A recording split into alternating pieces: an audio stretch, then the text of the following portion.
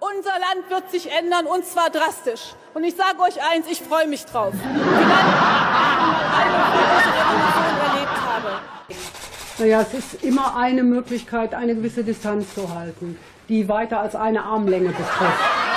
Es gibt keine Verbindung, keine einzige nachweisbare Verbindung zwischen dem Terrorismus und den Flüchtlingen, außer vielleicht eine. Nämlich, dass die Flüchtlinge ja, der Migrationsbericht zeigt, Einwanderung in Deutschland ist eine Erfolgsgeschichte. Die Einwanderer bezahlen die Rente derjenigen, die in Dresden auf die Straße gehen.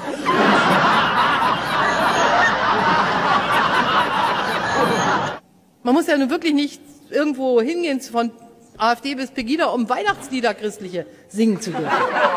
Aber wie viel von uns tun? Griechenland hat in den letzten Monaten erhebliche Fortschritte gemacht.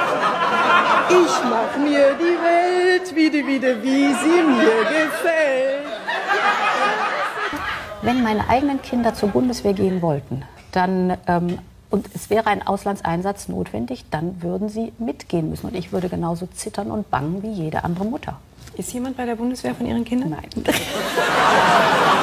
Die Eliten sind gar nicht das Problem. Die Bevölkerung sind im Moment das Problem, dass wir stärker wieder mit denen das Gespräch suchen. Kann man sagen, das ist wirklich Pack und Mob und was man da machen muss, ist, man muss sie einsperren. Und ich sage wieder und wieder, wir können das schaffen und wir schaffen das. Wir schaffen das. Wir schaffen das. Wir schaffen das.